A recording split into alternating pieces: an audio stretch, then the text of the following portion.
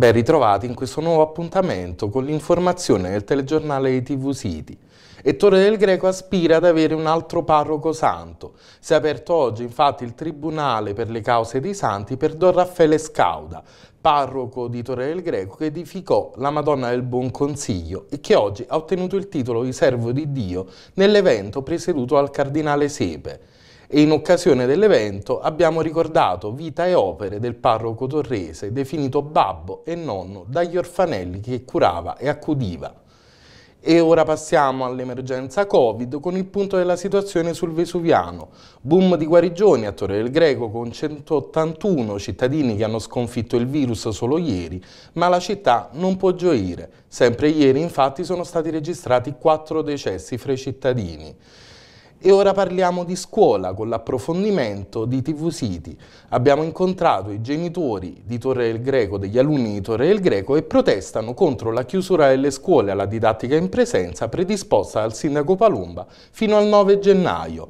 E sempre parlando di didattica a distanza, il nostro approfondimento sulle evoluzioni della didattica telematica e sui nuovi metodi per fare informazione e per fare istruzione. Ne parliamo con Michele Langella, esperto del settore. Questo e molto altro nei nostri servizi.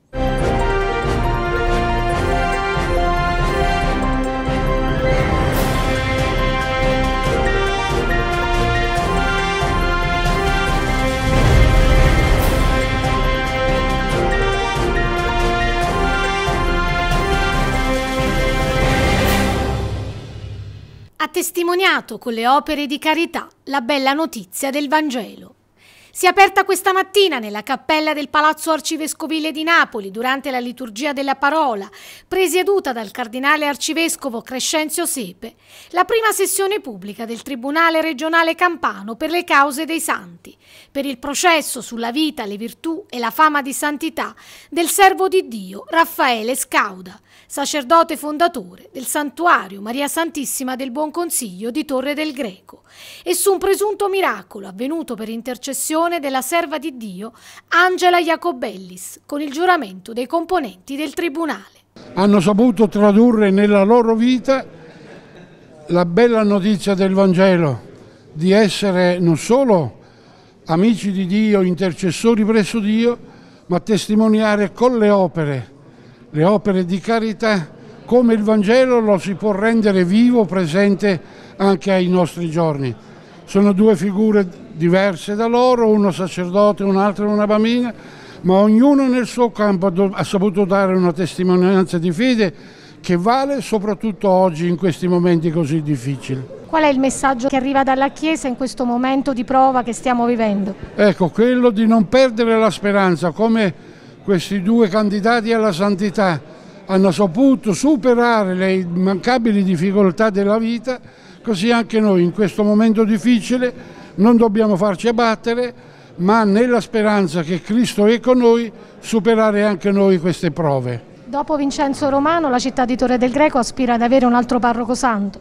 Ecco, vede, è una città santa perché già Vincenzo Romano, adesso Scauda, va bene, speriamo che continuino altri a seguire le loro orme e a fare di questa città un esempio di testimonianza cristiana. Un impegno pastorale, quello di Don Raffaele Scauda, contrassegnato da una forte devozione alla Madonna e dall'impegno per i bambini abbandonati e il contrasto alla povertà. Dopo la prima sessione pubblica di questa mattina, poi come proseguirà il processo? Adesso prosegue con un altro momento forte che faremo a breve eh, di un mese con la consegna degli atti ai censori teologi e ai censori eh, storici, ai periti storici, eh, proprio per avviare la ricerca di questo materiale edito e inedito e poi c'è la escussione dei testi. Qui ci troviamo di fronte a una causa non recente perché morto nel 1961 è una causa storica, sono passati già più di 50 anni.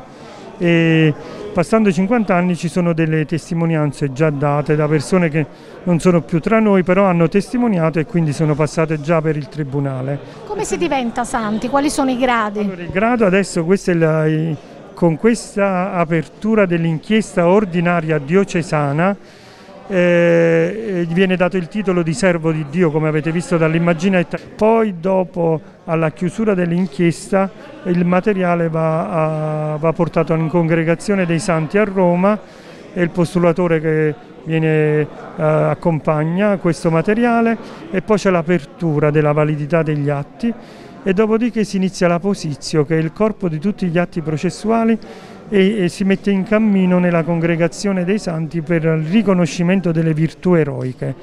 Quando la, il Papa dà il decreto delle virtù eroiche e dopodiché ci vuole il miracolo per la beatificazione e un altro miracolo per la canonizzazione. Chi era Don Raffaele Scauda e cosa Don ha fatto nella sua vita? Don Raffaele Scauda è nato nella diocesi di Nola, quindi non apparteneva a questa diocesi ed è venuto a lavorare in questa contrata Leopardi perché era una contrata abbandonata ha iniziato a costruire questo piccolo santuario con le offerte dei fedeli, con un soldo, la raccolta di un soldo.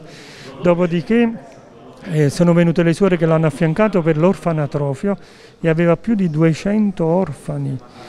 Il santuario è stato distrutto nella prima e seconda guerra mondiale, ha avuto dei danneggiamenti, ma è stato sempre ricostruito. Ha costituito un'apertura in questo santuario delle, di accoglienza per le periferie esistenziali della povertà di allora e di oggi. Oggi in questo santuario c'è una grande mensa per i poveri.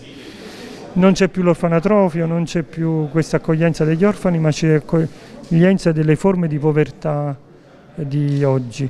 E quindi questa santità è legata non solo alla Madonna, ma alla Maria come Madre del Buon Consiglio e Regina dei Poveri quindi apre le porte a un momento forte storico che stiamo vivendo come Chiesa che è quella delle fragilità umane a cui bisogna andare incontro con la tenerezza, con la tenerezza di come questa foto che ho scelto per, per eh, farlo pregare, con la tenerezza dell'accoglienza dei bambini. Con l'avvio dell'inchiesta ordinaria diocesana a 59 anni dalla morte, viene dato a Don Raffaele Scauda il titolo di servo di Dio un iter lungo che proseguirà con la raccolta delle testimonianze. Siamo all'inizio di un cammino, quindi dobbiamo ora procedere alla, alla raccolta delle testimonianze che già è stata fatta negli anni, sentire qualche test di ancora vivente. È stato raccolto un po' di materiali, scritte edite e inedite, perché al santuario da vari anni sta lavorando bene un gruppo di lavoro che sta raccogliendo materiale, ora lo dovremo esaminare e dovremo vedere anche dei testi ancora viventi di Don Raffaele, proprio per cercare di ulteriormente eh, ingrandire il dossier di notizie, episodi e cose varie. Qual è stato l'impegno di Don Raffaele Scauda? L'impegno proprio come l'ha ricordato Don Antonio Di Naldo nell'introduzione, la forte devozione alla Madonna, il titolo del buon consiglio e poi visto i tempi suoi dopo la prima guerra mondiale e la seconda guerra mondiale per l'infanzia un po' più abbandonata, quindi ha raccolto tanti bambini e quindi facciamo appello anche a tutte queste bambine, alcune di loro sono ancora viventi, di segnalare i loro nomi al rettore del santuario per poterle anche sentire, se non l'hanno fatto già, cercare di adempiere e raccogliere più notizie possibili. Durante la seconda guerra mondiale che ha visto il famoso bombardamento del 15 settembre 1943, santuario completamente distrutto e una sola bambina morta, quando lui ha avuto quella profezia di fare uscire tutti dal santuario e di nascondersi nelle campagne e così si sono salvate moltissime persone della zona proprio grazie a Don Raffaele. È stato, possiamo dire, uno dei primi segni che il Signore si è servito di questo servo buono e fedele. Ognuno di noi nella vita di tutti i giorni può aspirare alla santità? Tutti siamo chiamati alla santità, l'ha detto pure il Papa nell'ultima enciclica sulla santità.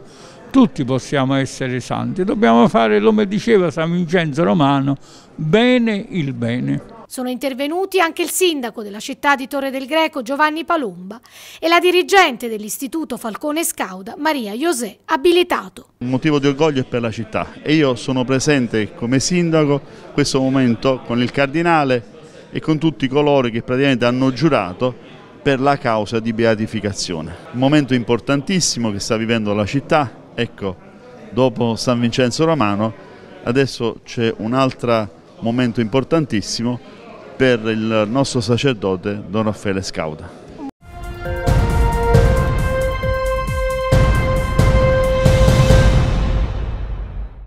Nato a Torre Annunziata nel 1872, il servo di Dio Don Raffaele Scauda dedicò tutta la sua vita al servizio sacerdotale ed alla cura della sua comunità di fedeli. Sin da piccolo sentì crescere la vocazione religiosa, incentivata da una famiglia credente e serena, fino a quando, il 12 ottobre del 1884, indossò per la prima volta l'abito talare, a soli 12 anni, il giovane sacerdote si trovò a dover combattere con forze anticlericali nella sua città, al punto da dover iniziare a celebrare la messa a Torre del Greco, in contrada Leopardi. Qui fece costruire la prima chiesetta con un altare sul quale inserì un quadro della Madonna che aveva sottratto alla famiglia. Così sorse la Madonna del Buon Consiglio, che iniziò a crescere grazie alle offerte dei fedeli. Infatti, nella costruzione della chiesa Don Raffaele Scauda ebbe come unico aiuto gli abitanti della città, i quali sacrificavano le proprie ore serali dopo il lavoro per aiutarlo materialmente a mettere pietra su pietra. L'impegno verso la sua comunità non fu fermato nemmeno dalla Grande Guerra. Costruì un piccolo orfanotrofio accanto alla chiesa, affidato alle suore di Sant'Antonio ai Monti, che curavano l'educazione religiosa, l'addestramento al lavoro e l'istruzione degli allievi. Per le orfanelle ospitate, Don Raffaele era considerato babbo e nonno. La seconda guerra mondiale mise a dura prova la comunità di Leopardi. Il 15 settembre del 1943 un bombardamento distrusse completamente l'orfanotrofio, mentre rimasero in piedi i muri laterali della chiesa. Con le suore e le orfanelle, Don Raffaele dovette nascondersi in una grotta alle falde del Vesuvio, dove rimase finché la marchese De Cillis accolse tutti nella propria casa. Il 26 maggio 1961 introdusse per la sua comunità la festa delle rose, una pioggia di petali sui fedeli che simboleggia la pioggia di grazie della Vergine Maria. Una settimana dopo, il 2 giugno, si alzò Una settimana dopo, il 2 giugno, si alzò per celebrare la Santa Messa anche se respirava a fatica. Si spense poche ore dopo. I suoi resti sono ancora oggi conservati nella chiesa che ha costruito, solo grazie alla sua fede. Ad oggi Don Raffaele Scauda è servo di Dio, ma è stata aperta la pratica davanti al Tribunale dei Santi che potrebbe portare alla sua beatificazione.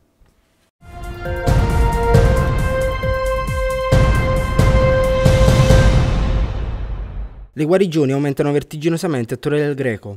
181 i cittadini guariti dal virus e 34 i soggetti risultati positivi nella giornata di ieri.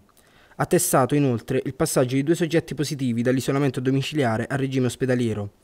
Comunicati 4 decessi, un cittadino classe 1946 e tre cittadini classe 1955. Migliora dunque il bilancio dei casi a Torre del Greco, sono 479 i cittadini attualmente positivi, di cui 29 ricoverati, 1699 guariti e 52 decessi. Sono molti guariti registrati ieri a Castellammare di Stabile nella giornata di ieri. 55 cittadini hanno sconfitto il virus, tra questi anche un bambino di 9 mesi. Accertati inoltre 21 casi di positività su 125 tamponi effettuati, di cui solo un soggetto presenta sintomi lievi.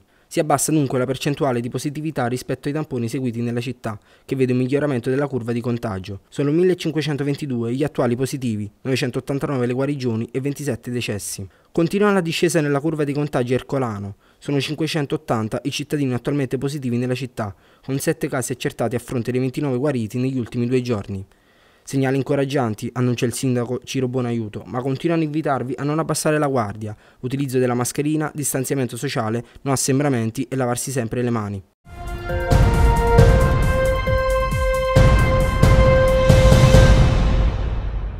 Scuola in presenza è il nome del comitato cittadino nato di recente a Torre del Greco per dar voce ai genitori che chiedono alle istituzioni la ripresa delle attività didattiche tra i banchi e non più a distanza.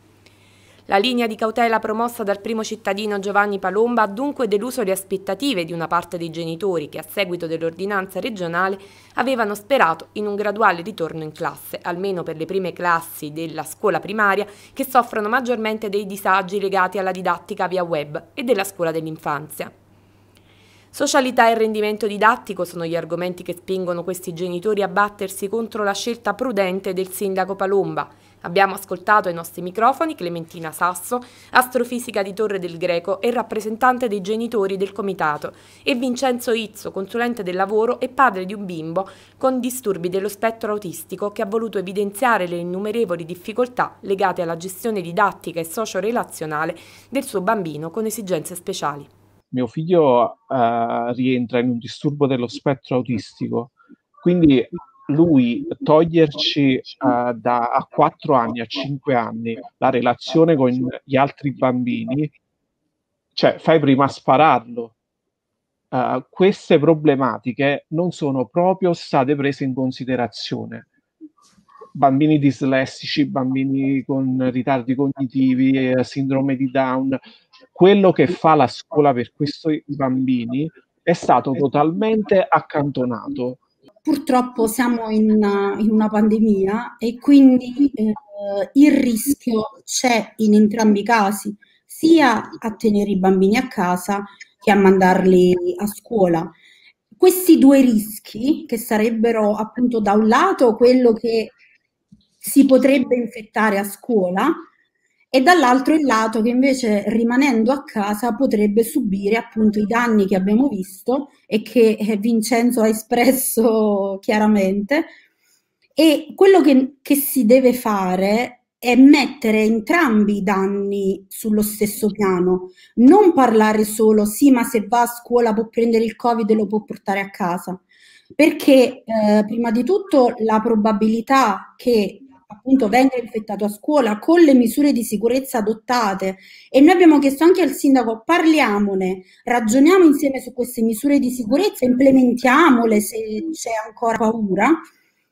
Eh, insomma, la probabilità che eh, ci sia un contagio a scuola sui bambini e tra i bambini che i bambini lo portino ad un adulto è più bassa rispetto alla probabilità che un bambino possa subire un danno dal punto di vista psicologico, sociale e, e insomma comportamentale. Sabato saremo a Piazza Santa Croce dalle 10.30 con uh, un presidio per uh, proprio esatto, per fare informazione e spiegare le nostre motivazioni. Noi ci teniamo tanto a dire che non siamo assolutamente contro chi non vuole andare a scuola per paura, ma vogliamo aprire un dialogo per far comprendere tutto quello che abbiamo spiegato finora.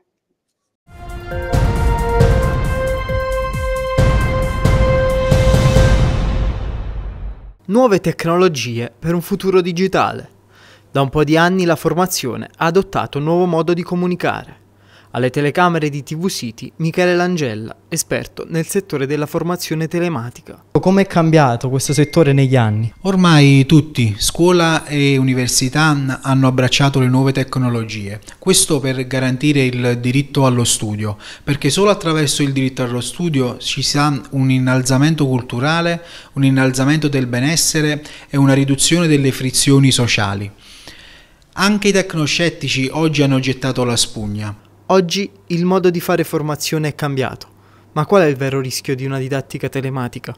Prima si parlava di vecchi anfiteatri del sapere refrattari all'innovazione, al digitale, all'industria 4.0, a quelle che erano i nuovi linguaggi ibridi e contaminativi. Oggi non è più così. Sicuramente il garantire eh, il diritto allo studio e una didattica in via telematica a tutti è stato poderoso, ma dall'altra parte per poter fare una buona didattica a distanza c'è bisogno di una tecnologia tale da permettere agli studenti di avere una didattica sia erogativa che interattiva e inoltre abbiamo necessità di eh, rispondere a quella che è la problematica del digital divide. Ci sono ancora pezzi del nostro paese in cui non abbiamo collegamenti veloci ed adeguati per poter garantire appunto eh, questo trasferimento del sapere. Come è cambiata la formazione telematica con eh, questo tempo, questi, questo periodo di pandemia? Sicuramente questa pandemia, questa crisi ha portato a tutti ad avere un approccio eh, molto più fluido verso la tecnologia ed è per questo che sia docenti che discenti devono riformare quelle che sono le proprie competenze per eh, poter affrontare al meglio quelle che sono le sfide del, del futuro. Uh, purtroppo uh, in Italia la formazione non è vista come un, uh, un, investimento, ma è vista come un costo. Si fanno tanti programmi sull'innovazione tecnologica, eppure si investe poco oppure nulla. Il concetto di digital transformation deve investire non solo le aziende, ma anche i lavoratori della pubblica amministrazione e della pubblica istruzione. Poiché si può dire tutto sul futuro, ma che non è già scritto, scriviamolo bene insieme.